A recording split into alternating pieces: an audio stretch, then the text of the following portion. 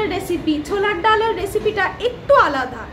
ঠিক মিষ্টির দোকানে যেরকম আমরা কচুরি বা লুচির সাথে, পুরীর সাথে ছোলার ডাল খেয়ে থাকি, এইটা একদম সেই রকম রেসিপি তো রেসিপিটা তোমাদের সাথে শেয়ার করে নেব, চলো রেসিপিটা বানাই। তো দেখো, আমি এখন ডিরেক্ট কিচেনে চলে এসেছি। ছোলার ডালের মেইন ইনগ্রিডিয়েন্টস হলো নারকোল। নারকোল ছাড়া ছোলার ডাল একদমই জমে না। তো এই জন্য তোমাদের দাদাভাই নারকোলটাকে ফাটিয়ে স্লাইস করে দিচ্ছে ছুরি দিয়ে। আমি বললাম যে আমি করতে গেলে হাত টাত কেটে যেতে পারে, আমি ঠিক পারব না করতে। তো তোমাদের দাদাভাই বলল, তুমি ছাড়ো, আমি করে দিচ্ছি। তো এই নারকোলটাকে স্লাইসগুলোকে ছোট ছোট করে কুচি করে কেটে নিতে হবে। আর ছোলার ডালটা দেখো, তিন চারবার ভালো করে আমি ধুয়ে নিয়ে এটাকে কিছুটা জল দিয়ে এক ঘণ্টা ভিজিয়ে রেখেছিলাম। কি হয়, এক ঘণ্টা যদি ভিজিয়ে রাখা যায় ডালটা, তো খুব ভালো সেদ্ধ হয়। তো আমি এখন নারকলগুলোকে কুচি করে কেটে নেব। আর একটু আদা আর লঙ্কাও আমি বেটে রেখেছি। কাঁচা লঙ্কাটা আমি অল্প দেব, কারণ এর মধ্যে কিছুটা শুকনো লঙ্কার গুঁড়োও যাবে আর ফোড়নেও শুকনো লঙ্কা যাবে। গোটা শুকনো লঙ্কা তো এই কারণে আমি কাঁচা লঙ্কাটা অল্পই দেব। তোমরা কাঁচা লঙ্কাটা বেশি দিয়ে মানে আদার সাথে কাঁচা লঙ্কাটা বেশি বেটে আর কাশ্মীরি রেড মির্চ দিয়েও করতে পারো। তাহলে কি হয়, কালারটা হয় কিন্তু ঝাল হয় না। যারা কম ঝাল খাও, তারা কম ঝাল দিয়েই করবে। তো আমি প্রথমেই তোমাদেরকে বলেছি এটা মিষ্টির দোকানের যে কচুরির সাথে ছোলার ডাল তৈরি করা হয় একদমই সেই রকম ছোলার ডাল। তো দেখবে মিষ্টির দোকানে আলুর কিন্তু খোসা ছাড়ায় না। খোসা সহকারেই আলুর পিসগুলো থাকে। তো আমিও এই আইটেমটায় আলুর খোসা ছাড়িয়ে দেব না। আলুটাকে টুকরো করে খোসা সমেতই আমি কেটে নেব। কিন্তু ধোয়ার সময় মাথায় রাখতে হবে, খুব ভালো করে ধুতে হবে কচলে কচলে। কারণ আলুতে বিভিন্ন রকমের ই দেওয়া থাকে। আর আলুটা যদি ভালো মতো না ধো তো বালি কিচকিচ করবে। এই কারণে আলুটা ভালো মতো করে কচলে কচলে তিন চারবার ভালো করে আলুর খোসার গাগুলো ধুয়ে নিতে হবে। তো দেখো আমি এখানে মিডিয়াম সাইজের আলু দুটো দিয়েছি। বেশি আলু দিলে আবার ভালো লাগবে না। ছোলার ডালের পরিমাণটাই বেশি থাকবে, আলুটা অল্প দিতে হবে। দিয়ে করতে হবে। তো ফ্রেন্ডস রেসিপিটা একদম অন্য স্বাদের, অন্য রকম খেতে একদম দোকানের মতো টেস্ট হয়। তো রেসিপিটা দেখার জন্য ভিডিওটা স্কিপ না করে একদম শেষ অবধি দেখতে থাকো।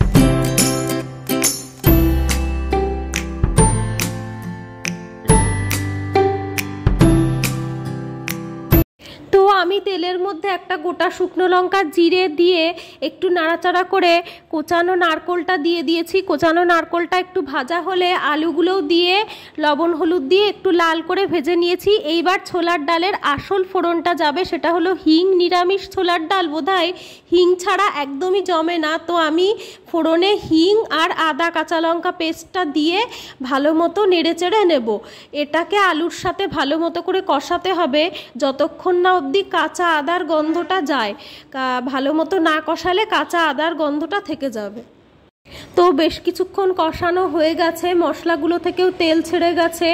এইবার একটা জিনিস দেওয়া হয়নি, সেটা হলো শুকনো লঙ্কার গুঁড়ো। শুকনো লঙ্কার গুঁড়োটা অল্প একটু দেব কালারের জন্য। আমি কাঁচা লঙ্কা আদার সাথে দিয়েছি।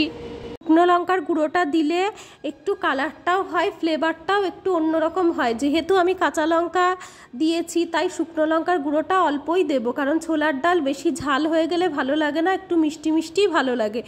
এবারে আমি যে ছোলার ডাল ভিজিয়ে জল ছড়িয়ে রেখেছিলাম, সেই ডালটাকে দিয়ে দেব। দিয়ে ডালটা দেওয়ার পরেও বেশ কিছুক্ষণ নেড়েচেড়ে কষাতে হবে।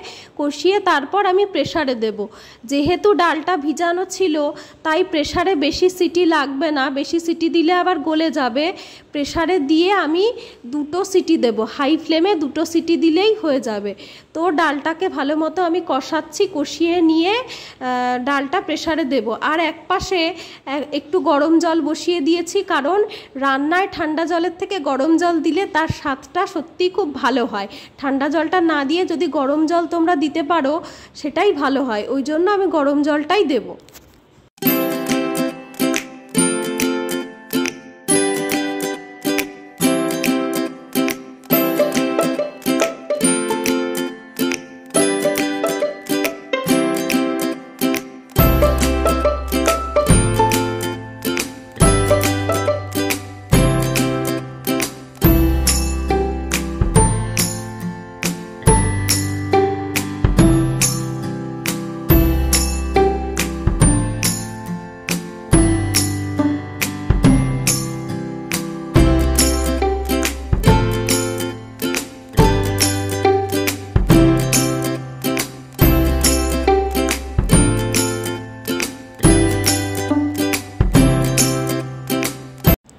দুটো সিটি দিয়ে রেখে দিয়েছিলাম। প্রেশার কুকার রিলিজ হওয়ার পরে আমি নামিয়ে নিয়েছি। নামিয়ে নিয়ে একটা জিনিস আমি নিজের পছন্দের অ্যাড করেছি, সেটা দোকানের রান্নায় দেয় না। সেটা হলো কাজু কিশমিশ। কাজু কিশমিশটা দিয়ে দেব। কাজু কিশমিশটা দিলে একদম অন্যরকম খেতে লাগে। এটা আমি আমার নিজের পছন্দ মতো অ্যাড করেছি। যদি তোমাদের ভালো না লাগে, তাহলে তোমরা নাও দিতে পারো। এই ছোলার ডালটার সাথে লুচি, কচুরি, পরোটা সব কিছু দিয়েই ভালো লাগে। তো আমি আজকে লুচি বানাবো, তাই লুচির ডোগুলো করে নিলাম, করে নিয়ে এবার লুচিগুলো ডালও দেখো আমার গলে গেছে। ডালগুলো গোটা আস্ত আছে, আবার ডাল, আলু সব গলে গেছে। বেশি ঘেটে গেলে ভালো লাগে না, আগেই বলেছি। তো আলুগুলোকে এবার আমি একটু ঘেটে দেব একটু আলুগুলোকে গলিয়ে দেব তাহলে কি হয়, ঝোলটা গাঢ় হয়। আর সব শেষে আরেকটা জিনিস দেব, সেটা হলো আমি একটা ভাজা মশলা তৈরি করে রেখেছি। সেই ভাজা মশলাটা এর মধ্যে দিয়ে একটু নেড়ে চেড়ে ফুটিয়ে নামিয়ে নেব। ভাজা মশলাটার মধ্যে কি কি দিয়েছি? ভাজা মশলাটার মধ্যে জিরে, তেজপাতা, শুকনো লঙ্কা, একটা এলাচ দিয়ে আমি ভালো করে নেড়ে চেড়ে নিয়েছি শুকনো খোলায়। তেল দেইনি। তেল না দিয়ে শুকনো খোলায় আমি ভালো মতো করে নেড়ে চেড়ে ভেজে নিয়েছি। জিরেগুলো ফুটে উঠলে ভাজা হয়ে যাবে, বেশি লাল করে ভাজলে আবার তিতো হয়ে যাবে। তো দিয়ে নামিয়ে রেখেছি, সেইটাই আমি বেটে নিয়েছি। সেই ভাজা মশলাটাই দিয়েছি। এই ভাজা মশলাটা দিলে তরকারিতে একদম অন্যরকম একটা ফ্লেভার হয়।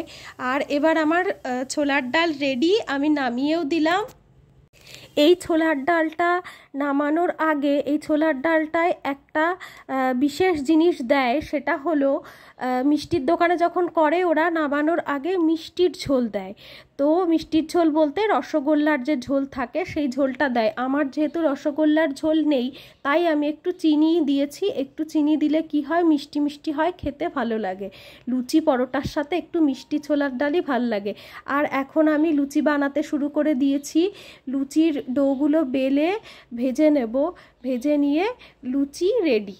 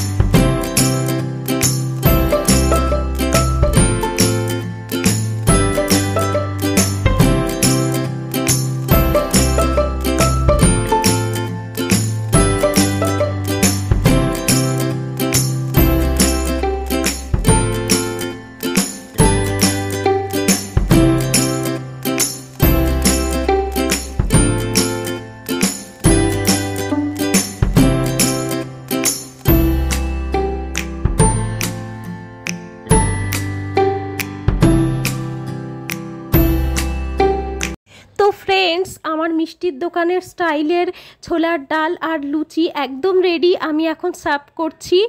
আর ভিডিওটা কেমন লাগল অবশ্যই কমেন্ট করে জানিও। যদি ভালো লাগে লাইক করো শেয়ার করো আমার চ্যানেলের নতুন নতুন ভিডিও পাবার জন্য। চ্যানেলটাকে সাবস্ক্রাইব করো। সবাই খুব ভালো থেকো। আবার অন্য কোনো দিন নতুন ভিডিওতে তোমাদের সাথে দেখা হচ্ছে। ততক্ষণ অবধি সুস্থ থেকো, ভালো থেকো, আনন্দে থেকো। টাটা!